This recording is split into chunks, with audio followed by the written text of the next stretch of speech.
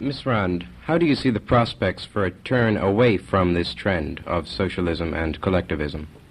Uh, the, in which sense? Do I think that uh, the prospects are good? I would say yes. Is that your Uh, question? yes, and more specifically, what do you see as indicators of this? Well, primarily, the fact that collectivism as a philosophical power or a moral ideal is dead.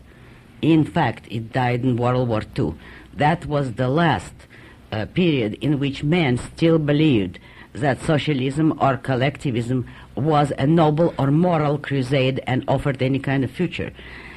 Since then, the evidence has been so overwhelming that you can see by the difference between what you read today, by the intellectual tone and atmosphere, and uh, what you could have read in the 30s. If you look up the intellectual uh, works of uh, our alleged leaders, you will see to what extent there was still a certain kind of blind, dogmatic, fanatical fire in their advocacy of uh, socialism and collectivism prior to World War II and the bitter, empty cynicism of today's intellectual trend.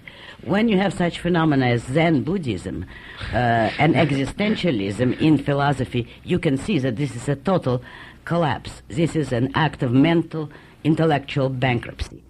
Uh, our philosophy today is bankrupt, so are our intellectuals. The dominant trend is a vacuum. There are no ideas. We are a society without direction, without philosophy, without values. Now, the next question is Is there any philosophy to fill that vacuum? Well, I'm here to tell you yes, there is.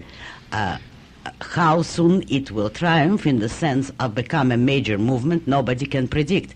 Since man has free will, nobody can predict when uh, and how many of what type of men will choose to be rational. Men can remain irrational. I- This is up to the individuals, therefore one cannot foretell any specific historical trend. What one can see, however, is that irrationalism, altruism, collectivism is dead. Therefore, the only hope for the future is a philosophy of reason, of self-interest, of freedom.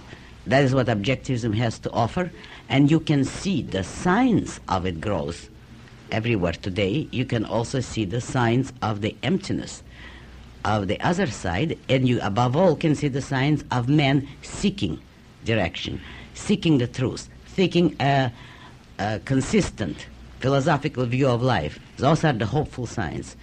Therefore, I would say that the Renaissance has a very good good chance today, but it Miss- won't be easy. Yes. I'll repeat that. No, I just said it won't be easy. It's not automatic. Nothing is automatic in history.